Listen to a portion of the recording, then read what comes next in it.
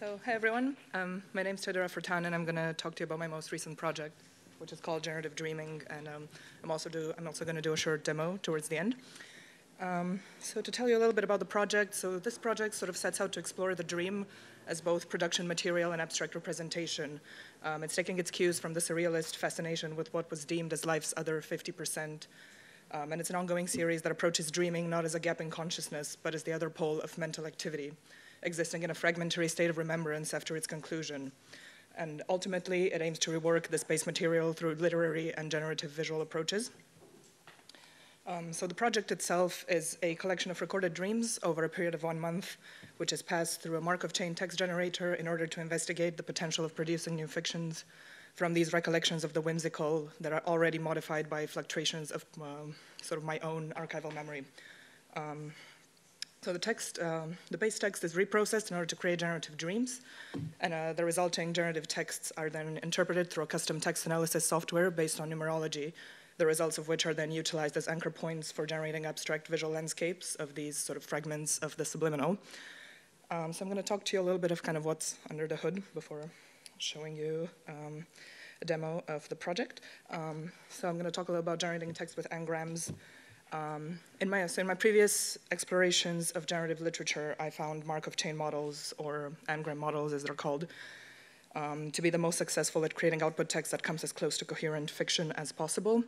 Um, so what the Markov chain algorithm does um, is it uses the input text to form word dependencies without the knowledge of the language syntax or semantics, uh, but solely based on the statistical knowledge extracted from the text corpus. Um, so basically, it predicts the outcome of an event given, given only the previous state, which here is the previous word, and this gives rise to some very interesting results in terms of the output text. And a little bit the, about this analysis by numerology. Um, so following this idea that numerology as an ancient sort of divinatory art can draw cosmic meaning and purpose, um, I decided to create sort of visual microcosms for these dreams um, based on this practice of extracting and interpreting numerical values from words. Um, so the, the, generated text is divided into parts of speech, and the letters of each word are assigned a certain number and um, converted into digits, and the digits are added in between themselves, and each word um, kind of ends up having a value in between 1 and 9. Um, so different part of speech values are then used to drive different aspect of the visuals. So here are some samples of the sort of generated um, pictorial language. So the adjectives sort of affect the color, the nouns affect the movement, the positioning, and the symbolism in these shapes, and the verbs affect the movement because they are rendered through an animation, as I'm going to show you very shortly. Um, and this is a text sample of the generated text, um, so I'm just going to read it out to you. So many hours go by as I can still make them out, but long winding monologues about matter, fire, and transcendence. But no time to waste. I walk past with the knowledge that I ran my fingers across when I was a child. Sound is real, though, or I think it is. There is no end and no beginning. And a very short demo of how the visuals are rendered. Um, so this is sort of corresponding to the text that I've just read out to you.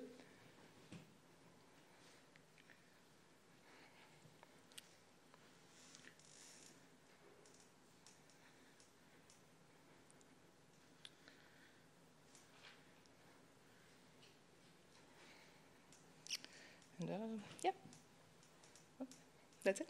Thank you.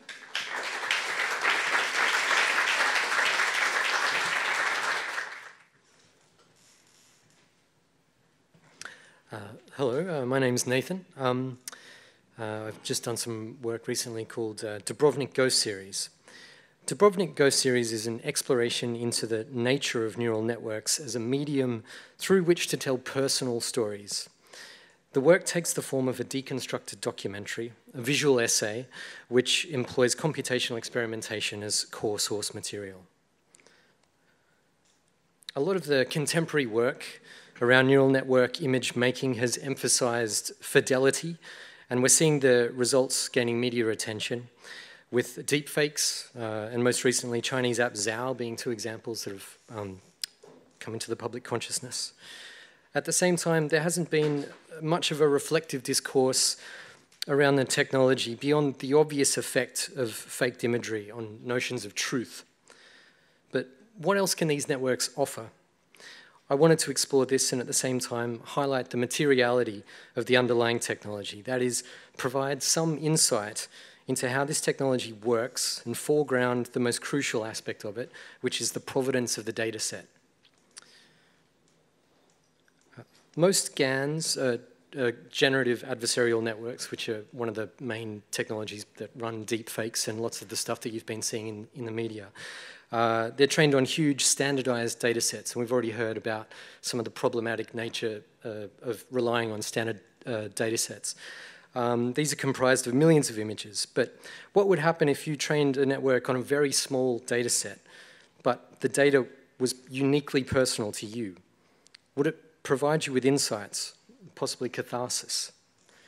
The small data set uh, I had access to was an archive of my father's landscape paintings, and the archive formed the story which I tell in the film. My father was an amateur landscape painter.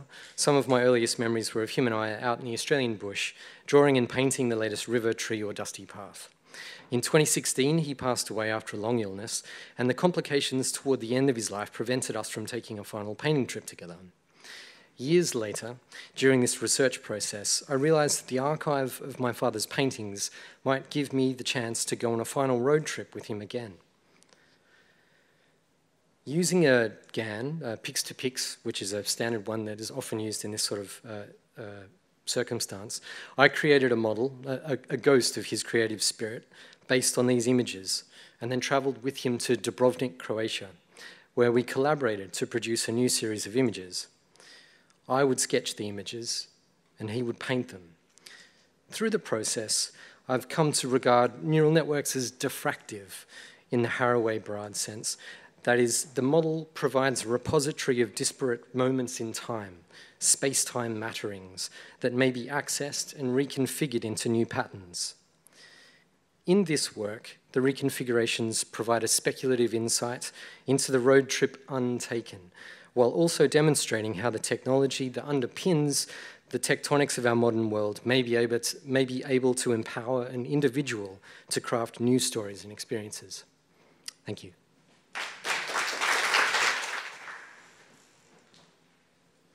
Hello.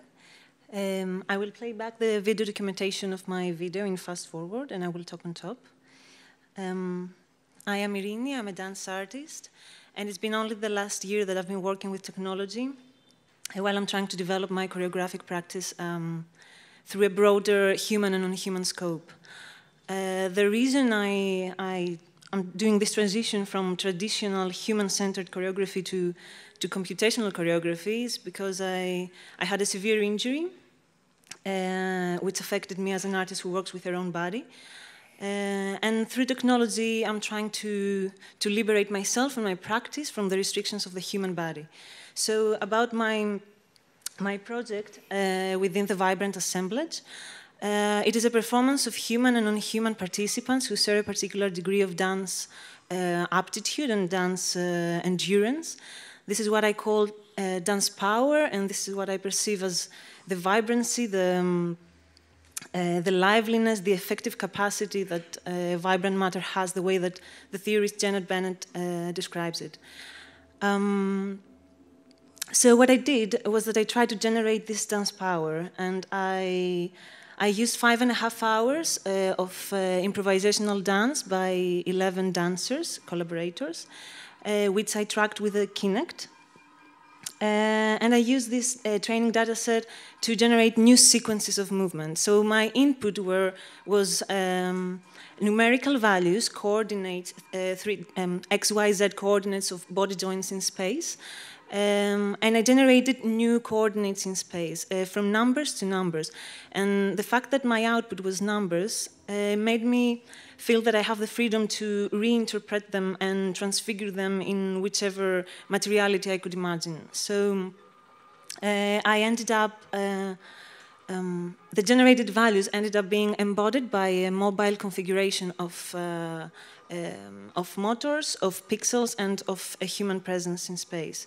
Um, the vibrant assemblage. So the motors uh, uh, correspond to to these motorized objects that you might have seen, which move very discreet, discreetly, and their moving behavior uh, is mapped to the Z values of, uh, of seven body joints.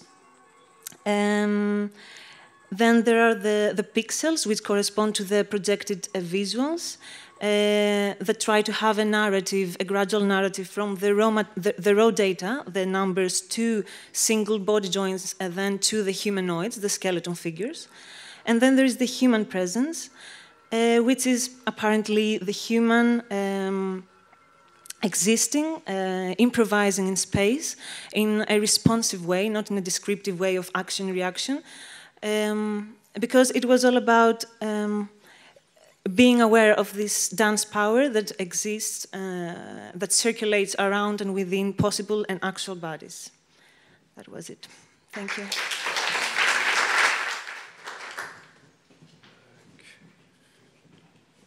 Uh, hi everyone, my name is Jérémie, and uh, I come from a literary background, so artificial it or ça artificiel, because it's a French and English uh, bilingual project, is um, a project of writing and um, you could say computational literature, and that it has its grounds in a long-term um, writing practice, which has, um, which has formed the corpus that has been used in order to produce new texts.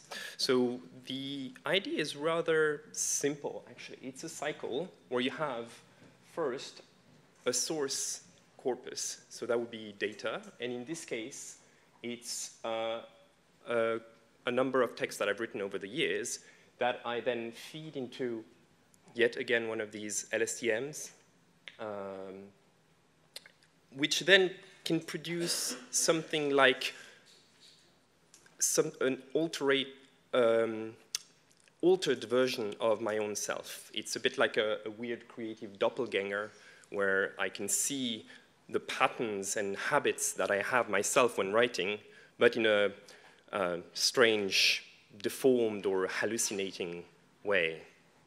And once I have this, uh, the interesting next step, which is not necessarily um, a given, is that I chose to, to consider them as my own texts. So instead of focusing only on, say, the technical aspects of the architecture, which is still uh, on, the, on the table, I would love to be able to develop or work with more advanced technology. At this stage, especially with the long form, these networks tend to produce very, um, very magmatic, uh, formless streams of, of words and language. And so I thought that it would be interesting to use that as a constraint and say, okay, what if I, what if it was I who had written that? And why, what would I do with those texts and how would I transform them in order to, you know, be able to say, those are mine and I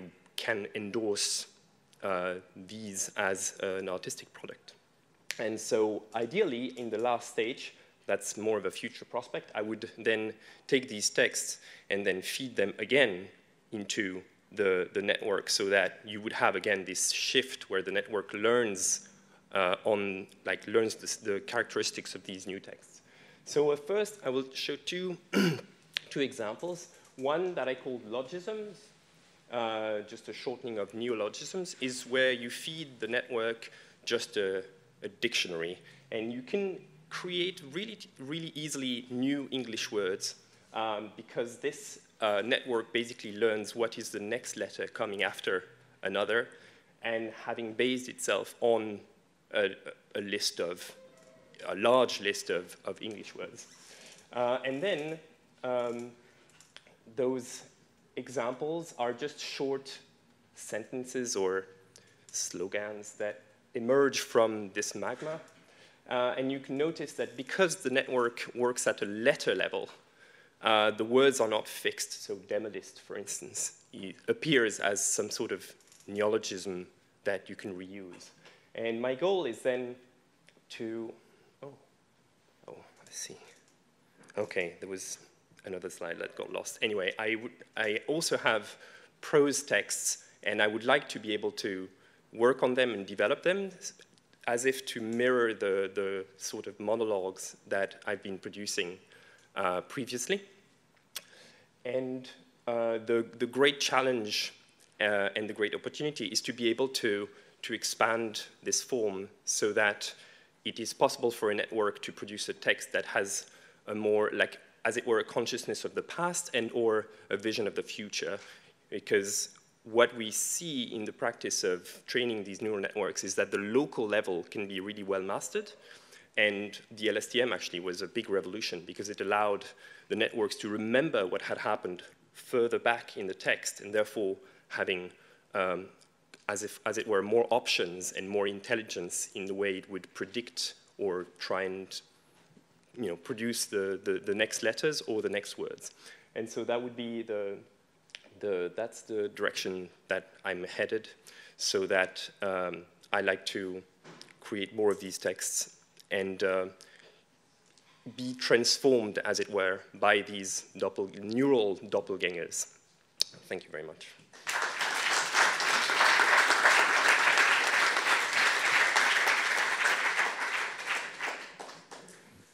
So, do we have any questions for any of these four artists? Impressive projects. They were uh, in a degree show just a few weeks ago, so they're very, very fresh. Brilliant um, work and fantastic projects. Thank you all very much. That was super interesting.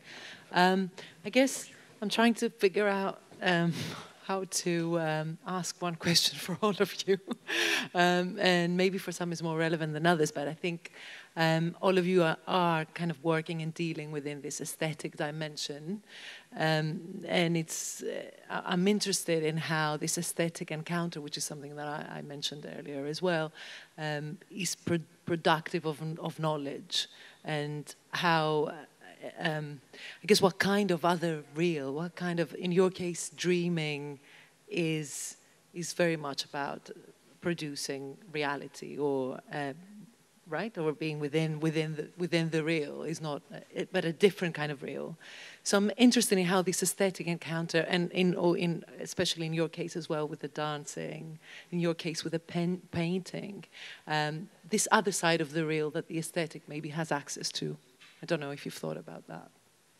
Um, yeah, I'd say that for me, it's definitely um, a really, really sort of important aspect, um, especially because I have a background in painting. So this kind of idea of aesthetics and this kind of visual encounter for me has to be, as you said, productive of knowledge. So I guess one thing that I was trying to achieve with this, these kind of abstract um, images is to create this sort of like symbolism where people can perhaps see more there. And in the same way with text, I'm very interested in this idea of producing knowledge through sort of aesthetic means. So that was, um, yeah. Um, I think with the piece that I created, the, the actual sort of end result, the artifact is a, is a film, it's a process film. And the, the, the point of the work and the knowledge I'm trying to almost make visual is um, I'm almost trying to introduce like a layperson to this technology through, through, the, through the application of it. Um, I'm, for people who have been following this sort of neural network, machine learning, and I've only been learning about it for the last sort of 12 to 18 months, so I'm still basically learning as I go. Um, the technologies I'm actually using are not revolutionary at all. You know, they've been long superseded, but that's not really the, the point of what my piece is about. It's sort of more about just, just making the, process visible and also uh, I'm, I'm, interested, uh, it's come up a few times, uh, the, the, the, idea of small data. Obviously, we're all very aware of the provenance of data and that you know, there's inherent biases and it can all go wrong when the data set isn't correctly sort of calibrated. Um, and, and also, in sort of people have their own data sets privately. So um, if there's some way that they can leverage their own data in, in using the technology that was invented by Google and huge corporations, but just on an individual level, um, I sort of, it's almost a speculative sort of utopian vision, which is um, I guess what I'm trying to achieve with it. Yes, yes. Um, I try to to to escape um, the control over the visual coherence of what I created. So because I'm, I was mostly concerned on the um, on the moving behaviors of all the the participants of this event. So um, I would say that my aesthetic choices were mostly made regarding these moving behaviors. And I ended up curating many of the machine, computer-generated uh, results. Whenever I didn't like something, I would retrain it or change my dataset slightly. I couldn't escape that, although I wanted to, to be more collaborative. Mm. Um, but yeah, this is what I mostly did.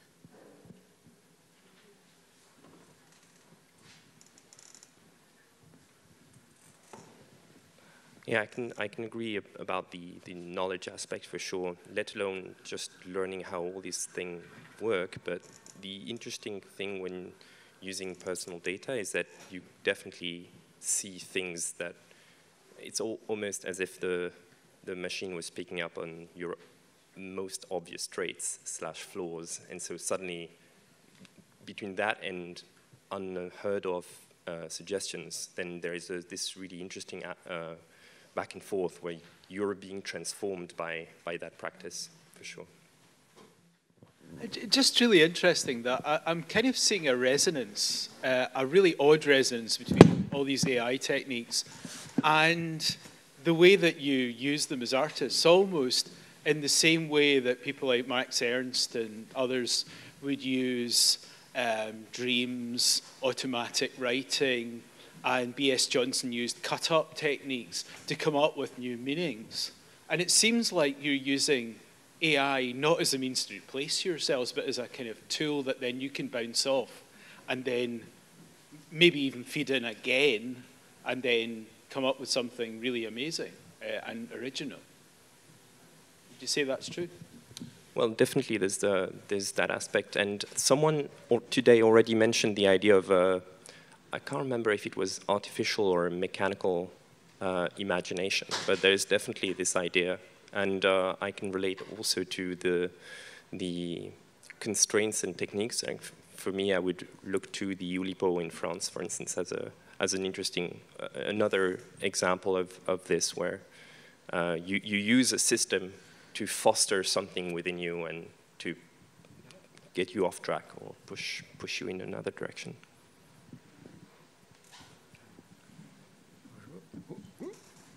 We need more mics. um, I, I've, I've, thought about that a lot. Uh, in like my background is in animation and, and filmmaking, and I've been trying to sort of understand the difference between what, like, why use a neural network to do something. There are so many other ways of doing it. You could, you could, you know, in, in creating a film or an image, you could do a collage. You could do a. There's lots of ways of doing it. And the thing that I've sort of come back to is and we talked about agency or, you know, is, is it an AI? Is it just a very smart algorithm?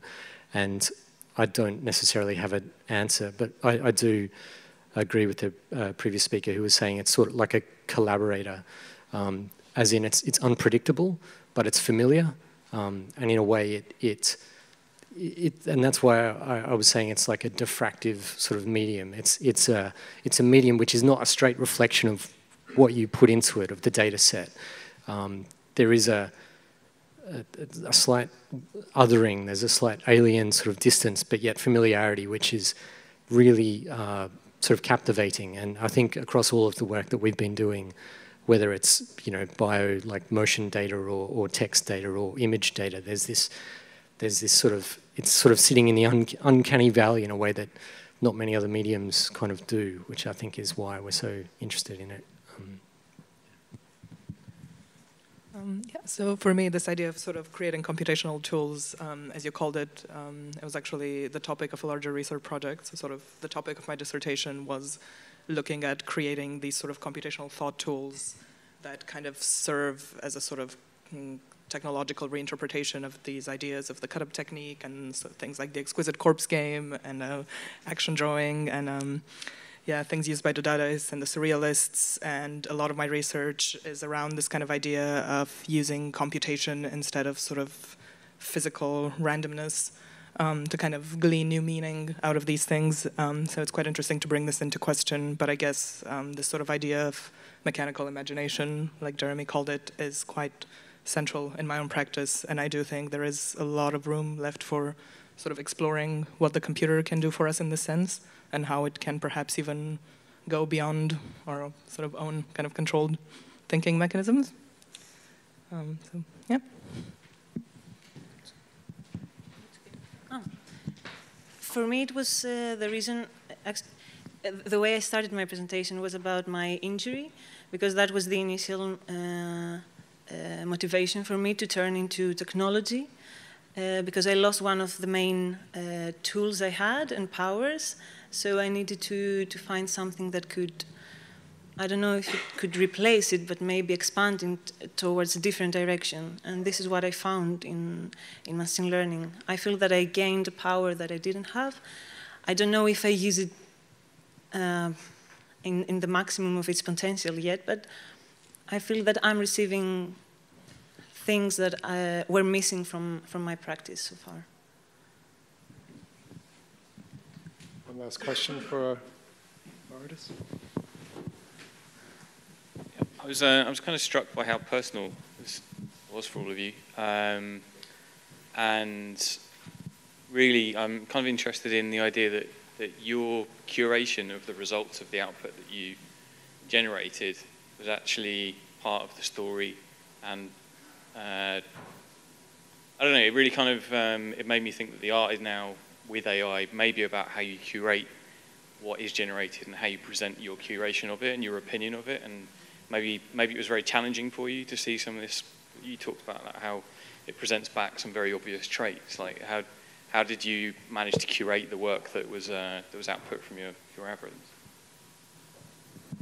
Um, so I guess you bring like quite an interesting point into discussion here because um, I don't know, at least for me and my own practice, I do not kind of want to relinquish all control to the machine. So I still want sort of my own agency as an artist and I sort of see this coming out as like an act of curation and kind of handpicking and deciding what of this I want to show.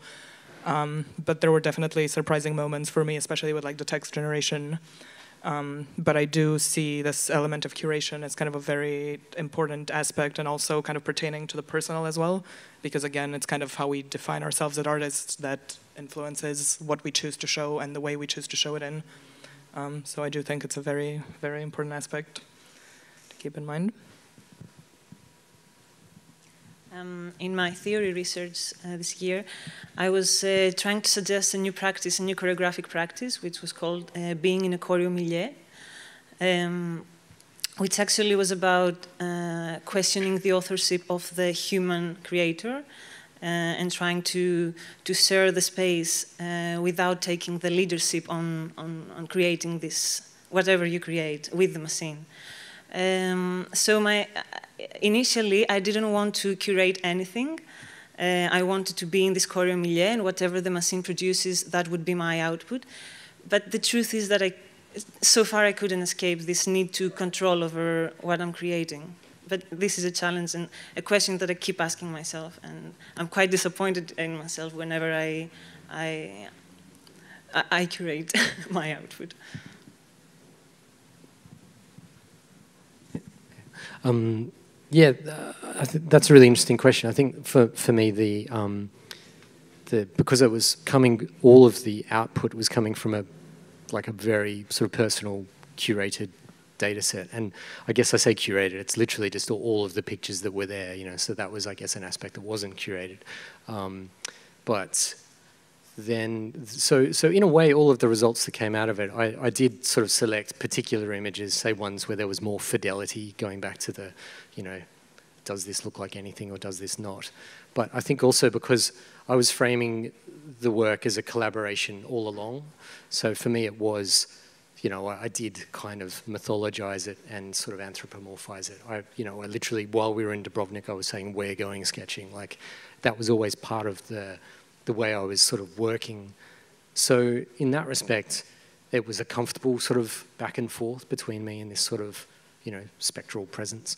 Um, but, uh, you know, I, I, I actually like the, the fact that there are inherent glitches and sort of, and sort of problems and, and imperfections in, in, you know, it's sort of the crackle and the grain, to use a sort of hauntology sort of um, uh, aspect. You know, it's, it's, it's sort of got this, this texture to it that, that reminds you that um, it's been through a process and, you know, you didn't tell it exactly what to do. But I think definitely like artist curation is at still at the moment, it, it I can't um, imagine sort of doing this and well, actually, my, the work I'm doing at the moment is is trying to go through an unsupervised sort of process, doing the same thing and just seeing what comes out. And at the moment, I'm struggling because the results are, are you know, they're, they're very challenging and, and they don't necessarily, something I'm very interested in is sort of explaining this technology to people who don't necessarily know how it works when it affects their lives. So I almost want it to be alien, but I don't want to just show someone sort of like a mistake and then go, because it's almost too much. But anyway, yeah. What's a mistake? I don't know. Oh, uh, thanks for the, that, that question. I will try and be brief-ish. Um, but it's interesting what you were saying about curation, because for instance, uh, in, in the case of uh, this text generation that I was experimenting with, actually the smallest level, so for instance, if I uh, feed in a dictionary and create words, then indeed the my role is reduced to a curator because the words are really well formed and apart from a few exceptions, it's really about me picking um, the ones that are nice and that, that I like. Actually, I have a demo of that later. And the interesting thing is that because I wanted to have longer text, including prose text, and that uh, because that was the, the scale at which the, the network was actually not working that well, that implied that I, if I wanted the type of texts uh, or text that I could endorse in whatever way, I would have to put in a lot of work. So it's interesting to see that in that case, uh, there is a lot of preparatory work to create the corpus, and then there's just this cut by the network, and then you have this thing produced that you have to to transform. And in fact, I found that this practice was much harder than just writing with a blank page. So it was it was like almost the um, the chore of having to transform something which is almost like gibberish into something that could uh, be aesthetically uh, interesting.